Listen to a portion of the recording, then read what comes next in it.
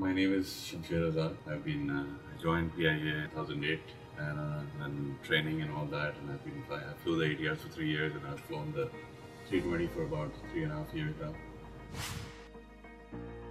It was always my passion uh, because uh, my father was also a pilot. So I'd uh, grown up in the environment and seen the cockpit all my life, and uh, it always fascinated me. My father put up a little bit of resistance. He wanted me to pursue some other field, but uh, I finally convinced him to let me do it.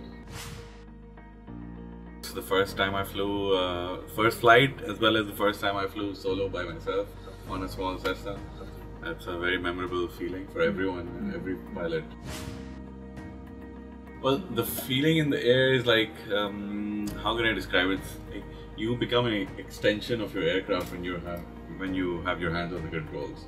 You can almost feel the wind, uh, and uh, and uh, the, whenever you're flying, you're in heaven, and whenever you're on ground, you're looking forward to the next time you're going to be flying.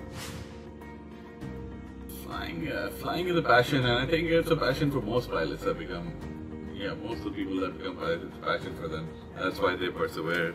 There's, uh, there's a lot of studying involved. Are a lot of years of experience, a lot of things happen on instinct, that's true. I have a long way to go right now. I mean, uh, I look at my captains and they're much more instinctive about it than I am.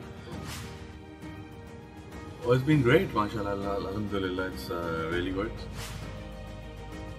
I mean, every flight is memorable.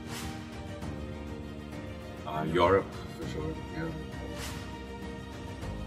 Well, keep at it, keep studying, and uh, hope for the best. Inshallah, uh, you'll get there one day.